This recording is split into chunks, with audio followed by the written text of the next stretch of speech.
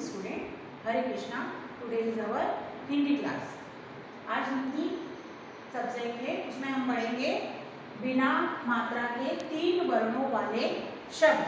कल हमने दो वर्णों वाले पढ़े थे, आज हम तीन वर्णों वाले पढ़ेंगे। एक एक लाइन स्किप करके हमें लिखना है, जैसे कि कल लिखा था। पहला है, मटर। मटर। सेकंड कमल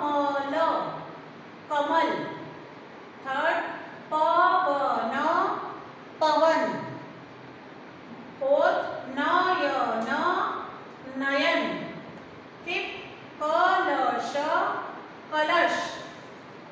सिक्स सड़क सड़क.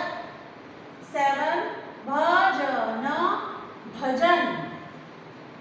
एट चमक चमक. नाइन महल महल. टेन नरम न नरम इसको बिल्कुल ऐसे भी नहीं पढ़ना है कि म मटर का ट टमाटर का र रस्सी का कैसे पढ़ेंगे मटर मटर। हर बार वन लाइन स्किप करके ही लिखना है और कल मुझे होमवर्क सेंड करना है। हरे कृष्णा।